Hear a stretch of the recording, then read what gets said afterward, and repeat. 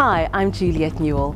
In this show, we explore the minds of architects as we take you on a fascinating journey into the methodology behind design. This is Property Ladder.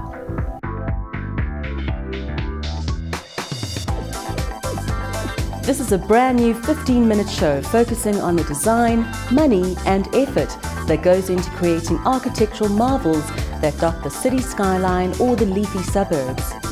We delve into the psyche of the architect, along with their thought process in the creation of the ultimate design.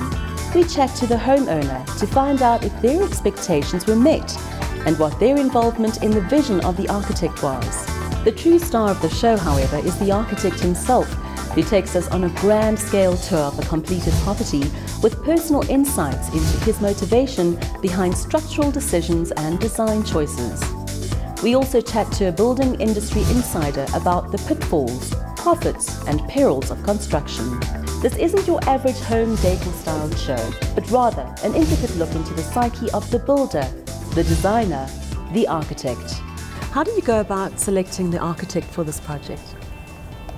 Um, to be honest, I, I don't think I did. Um, the builder and me um, is actually good friends and he suggested an architect that he said to me he's worked with and that he recommends that does good work and um, introduced us and yes. Um, and are you still friends with him? Yes. There we go. So we're still friends and yeah, it worked out well.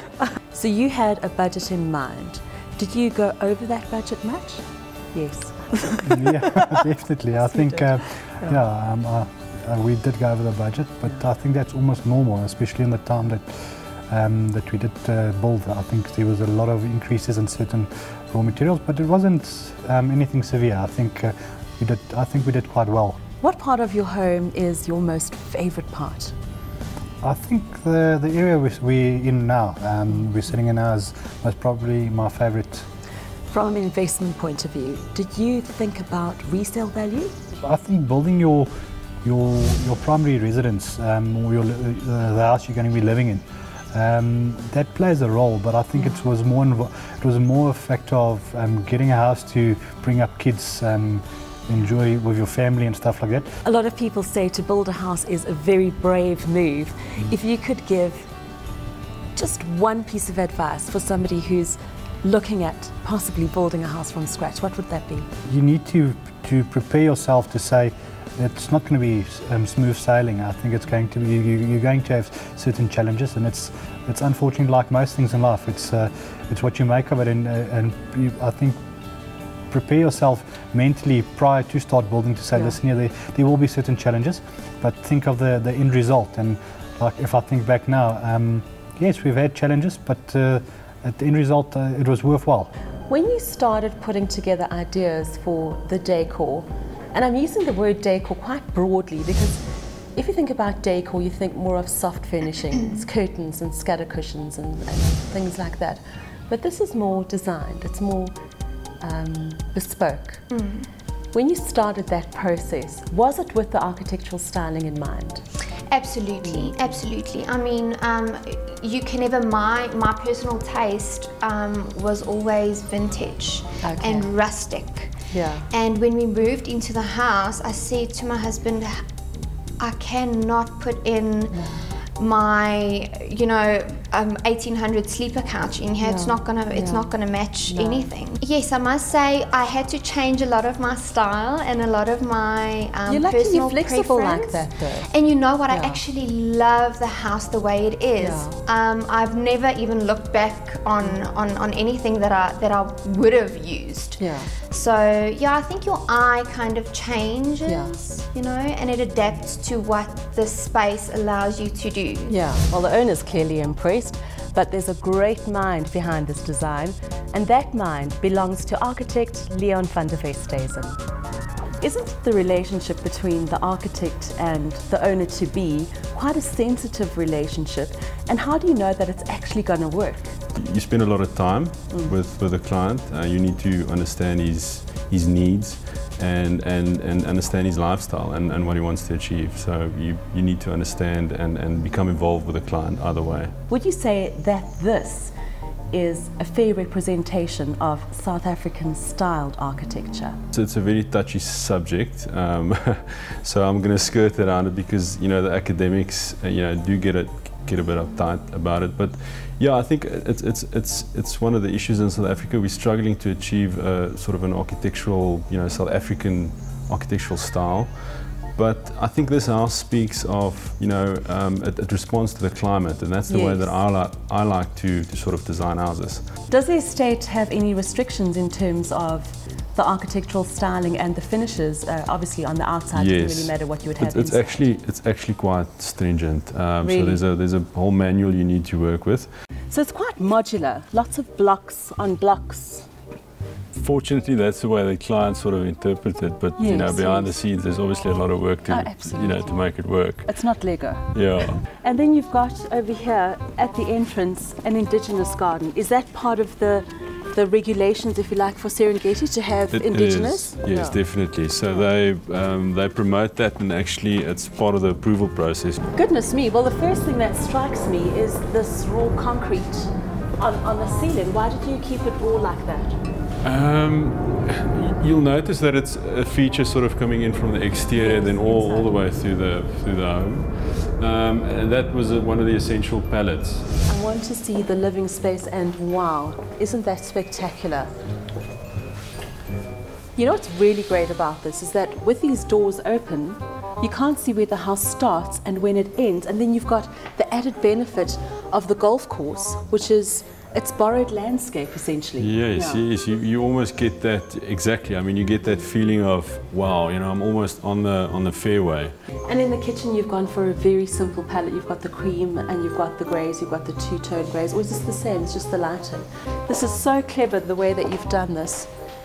As you say, the spaces are, are defined by the furniture layout. So you've exactly. got an extra dining space here, you've got a lovely casual seating area there, the sun lounges, mm. the bar, and even another little table there, a poker table. Let's call it a poker table. you know, everyone always said don't have your you know your bedroom face west, but I mean when you're up there, it's just it's, it's amazing. so you have to counter these things. For sure, um, and there's always a way. There's yeah, if, if there's always a way.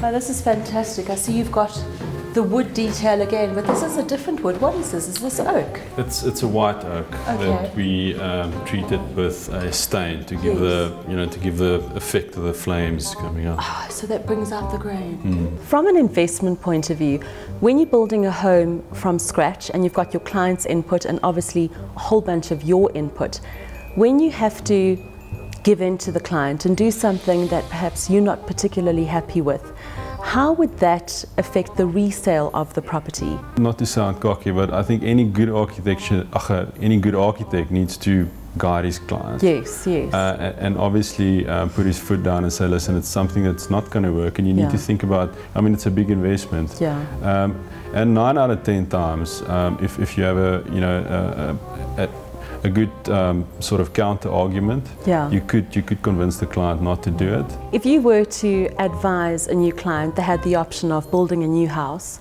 or renovating an existing home. From an investment point of view, in terms of the money you would be spending to get that home up to scratch, which option would you go for? You know, if you get the, the, the, the renovation option for a real bargain, I'd say yes. you know it's something worth it that you can go for.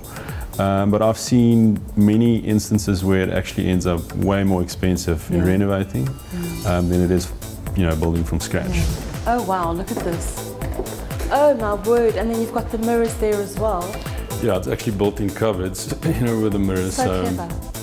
So you can lie in the bar and look at the view. And enjoy the view. And you can lie on the bed and look at the view. Yes. And we've also got an interesting feature here. So we've we've got the the shower here, uh, and then a sneaky little trick. Um, so out of the shower, you, you've, you've, got another outdoor shower. Aha! You see, now um, that's what I'm talking about. You know, all open. So you can just imagine Saturday morning after gym. It reminds me of one of those bird hides. bedroom. Um, oh, it's great. I love the furniture and the decor. The soft finishes are so natural. Mm. And they work so well with the environment.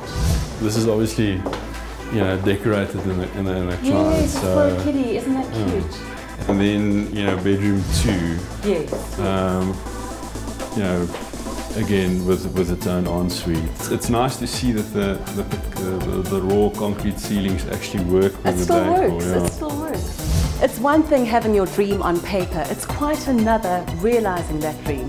And that job belongs to Chris Van Sale. He was the man responsible for the construction of this masterpiece. So how important is your relationship with the architect? Well, it's very important, especially with us in BuildPro, to have a great relationship with the architect and also the client.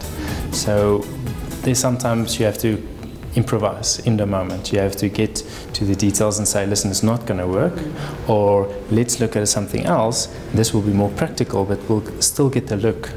So for us, we don't just want to get the easy way out because we really have a passion for designing in the construction industry. But we will advise on what's more practical and also the architects, architect plays a big role in that. What do you do to ensure the best possible outcome for the home without going over budget, but at the same time ensuring quality?